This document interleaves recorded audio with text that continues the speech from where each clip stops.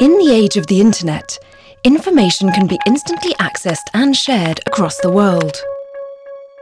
While so much is made available, some pioneers in the field of education have opened access to knowledge even further. The Massachusetts Institute of Technology, MIT, is one of them. Historically, elitism has been a major obstacle to opening top universities to the world, and students paid a high price to have access to this exclusive instruction. By unleashing the knowledge that was once kept within its walls, MIT has taken a leading role in altering the notion of intellectual property and traditional access to higher education.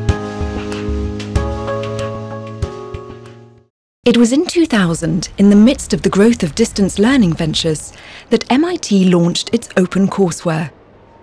The web-based platform offered core teaching material from numerous MIT courses, making them available to everyone for free. Four years after its launch, the site had been accessed by 35 million visitors from more than 220 countries and territories worldwide. MIT faculty members share lessons on a voluntary basis and these are made available under an open license. This allows people to reuse, redistribute and modify the materials to meet their needs. To date, MIT OpenCourseWare has shared over 2,000 courses online and 17,000 lectures across 33 academic disciplines, reaching out to over 100 million individuals. Professor Miller has been contributing courses and is very involved in the OpenCourseWare initiative as Mathematics Department liaison. He sees no downside to sharing all his lessons online. On the contrary, for him, the site increases the quality and connectivity of the MIT curriculum and brings the teachers together as never before, since they open their lessons to their peers. Professor Miller has recently been creating bridges between disciplines and concepts to make data more intelligible online.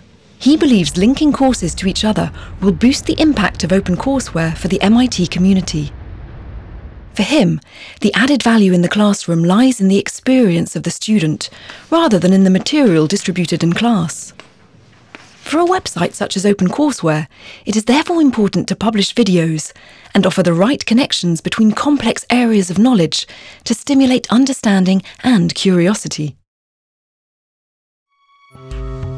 With so many users worldwide, who are the people benefiting from MIT? And how are they using the website? Some educators use it as a way to access information and do research. Some students find it useful to study in greater depth. For some teachers, it helps to improve their courses and teaching. Some self-learners have developed their professional skills. These are just a few examples of the many uses and benefits of this resource that is open to one and all. The internet has allowed MIT to open up to the world. But soon after its creation, the initiative was no longer just about the internet. It was about sharing the knowledge worldwide, whatever it took. So the team developed what they call mirror sites in regions where the internet is unavailable or unreliable and expensive. They distributed complete copies of the website on hard disks that no longer required any connection. So far, the Mirror Site program has helped bridge the digital divide through 280 complete copies of the site, mainly in sub-Saharan Africa and South Asia.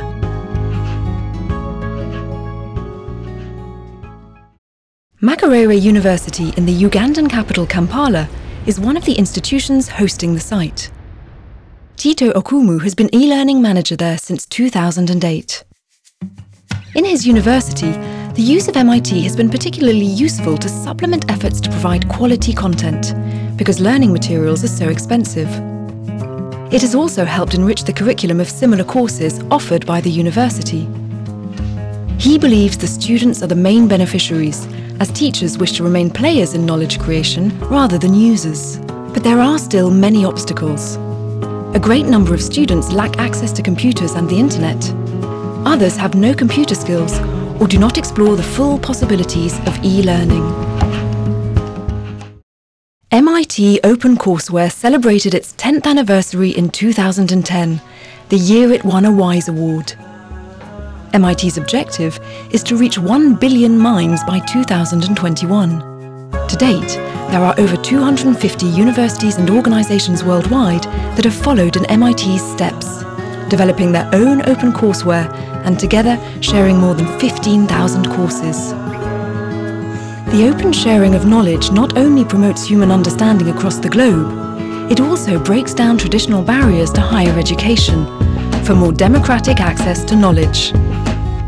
Thanks to generous initiatives like MIT OpenCourseware, what was once for the privileged few is now available for all mankind.